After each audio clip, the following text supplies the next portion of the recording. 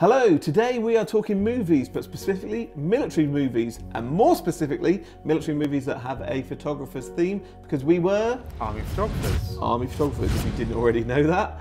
So, but before we start, please remember to subscribe if you want to see more content from us, and Play that intro. play that intro.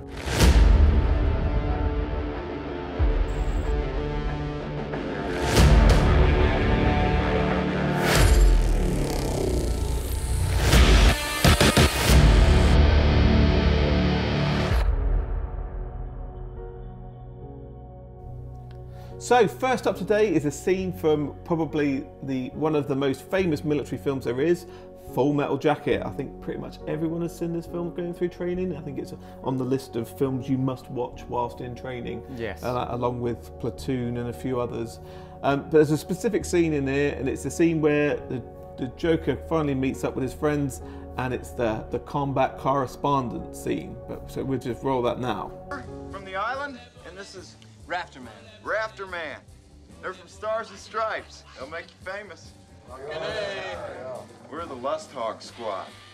We're life takers and heartbreakers. I'm a big fan of Adam Baldwin anyway from Firefly, so it seems a, a win-win for me.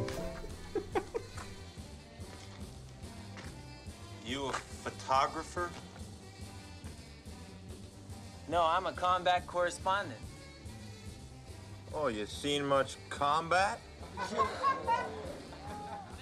Shouldn't that question be inserted with how many times you've been called, do you work for Soldier magazine? Yeah. You're a real comedian. Well, they call me the Joker. It's funny you should say that actually, because I can think back when I was in Iraq, the amount of times that I got asked, "Oh, you work for Soldier magazine," and, uh, and you'd be like, "No, I'm in the army, mate." Oh, are you? Like, well, yeah. Look, I'm dressed exactly the same as you, with combat gear on and, and body armor, helmet, weapon. And uh, do, do you not see it? It's- I've just got my camera as well. Oh, so you don't work for Soldier magazine then? No. Yeah. But also the question is, oh, are you a are you a soldier then? Do you do what everyone else does? Yes, we do what everyone else does, but then we take pictures. But it, it does lead you down the road of, of what you get called with. You know, what I mean, obviously we go by army photographer, but when you're out on, on tour, whether you're with the uh, it'd be combat camera team Hmm. or army news team, uh, and so on. I know there's always a lot of different. I was ones. just the brigade fop. Oh, there you go. You were just brigade for. See, I played with some played with some new ones like the, uh, the mobile media uh, multiple, but obviously abbreviated to. Mm. And plus, no one wanted to go down the uh, combat unit news team road. And actually, in the terms of other, have you seen much combat? Actually, there's a great clip from um, from Rupert Ferreira, who when he was out on 16 Brigades tour, and um, he's got a, uh, a he- awesome bit of headcam footage of That'll give us some contact. credibility. So let's Yeah. run that now.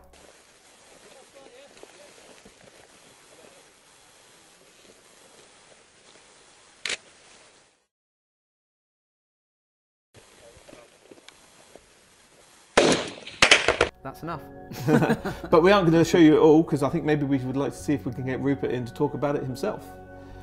Uh, but moving on from the combat correspondent, it, it brings me to another clip which was from a BBC series. So this scene is from uh, a BBC drama about the Gulf War in 2003 and specifically about Colonel Tim Collins's uh, Eve of the Battle speech. If You lose your tag, then you've lost your head, at which point the morphine becomes unimportant.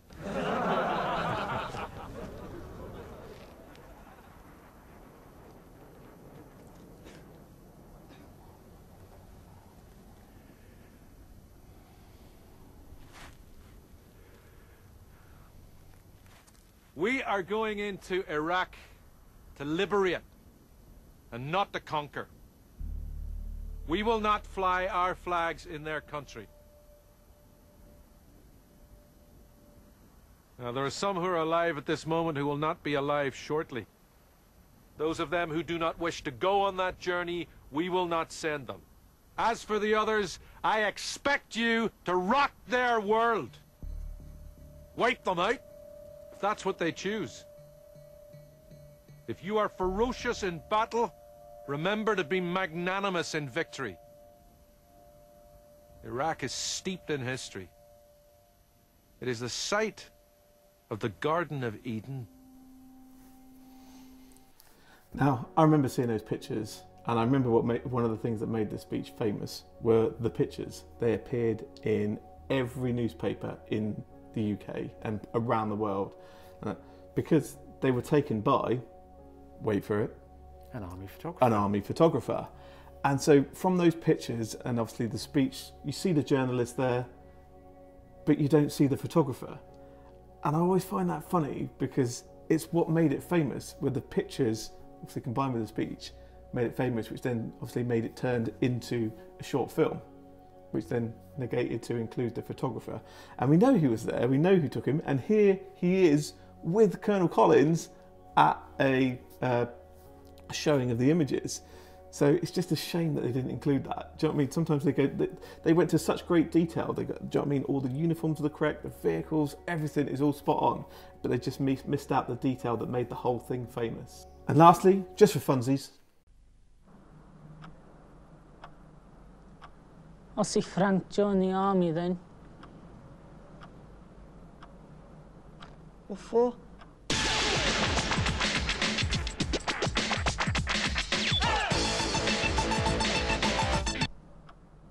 I don't know why Frank did it.